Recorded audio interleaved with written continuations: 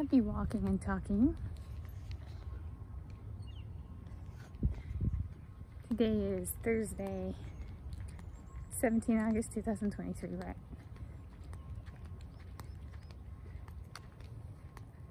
Innis Arden Park and tennis courts. And this was, if I'm recalling correctly,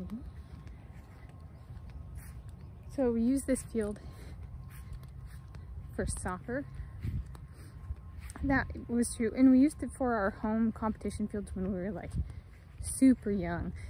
Um, like when this, uh, so I started when I was in 1998. I was approximately six years old.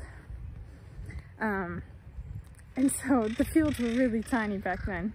So there could be multiple fields set up in this stretch of grass, which I'm walking to the end of. But we also had practice here.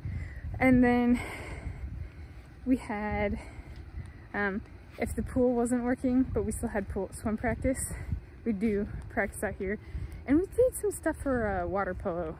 Um, we'd start here, do stretches and different, um, sometimes running, but then we'd also run to Richmond Beach Saltwater Park. But here's, goes down in that way, which is where we walked. The playground has been redone. But yeah, this is part of my running story. And then we would also use, I did tennis lessons over here at the tennis course, which I'm walking to, and we did tennis golf and we would come out and uh, I had started running, I think at some point in time, or I was enjoying running, but I hadn't started running and we were doing tennis lessons. And the coach or instructor asked, asked us what we wanted to do. And I was like, we should run. And everybody was like, tennis, no. And then we had to run because of me. So I didn't say anything after that so we didn't have to run as much because people weren't as happy about running as I was. Yes. you can see the pool kind of. So the locker room building, that building, has been redone, but this is the same. The pool's the same and the tennis courts are approximately the same. And then th that the playground has been redone mostly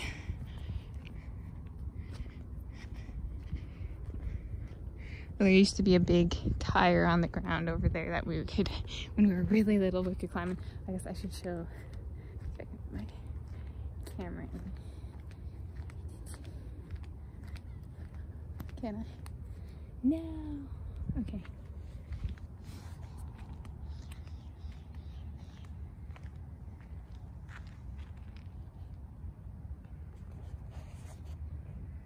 There we go. I don't think they used to be blue.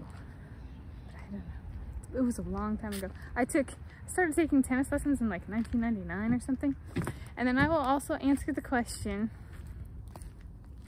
of, so I said why I started running when I was at Highland Terrace, walking and talking this past week. Um, but I did not say why I chose running.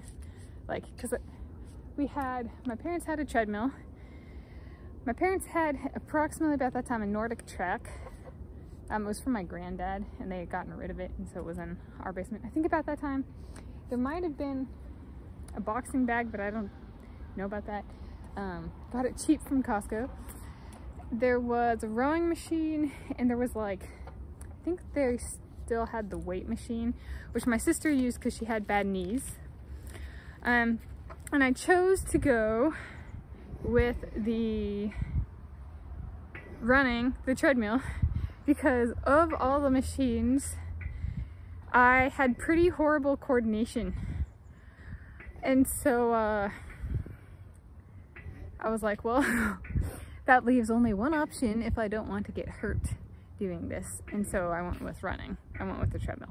Uh, it, it is that simple process of elimination. Which can I do and not get injured.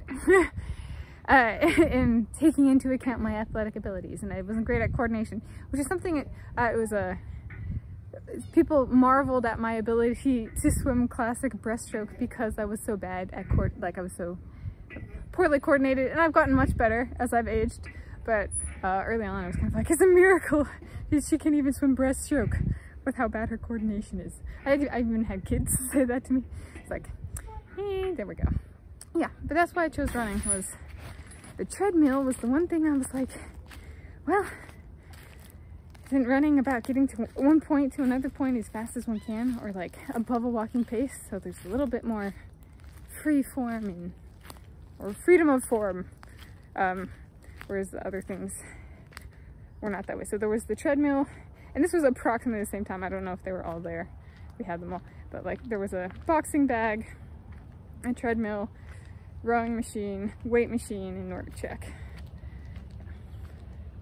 I couldn't, and I, for, I think the, the first thing I tried out, or, or not the first thing I tried, I, I don't actually know if it was the first thing I tried out, so scratch that, but uh, I think the lack of coordination was highlighted the best with the NordicTrack, where I like, I couldn't, I just felt like I was gonna fall over, and I was like, you know, I'm not gonna do that, I'm gonna be smart, and not put myself at risk.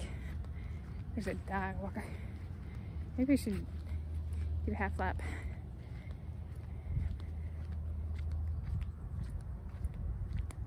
Oh, there are crows.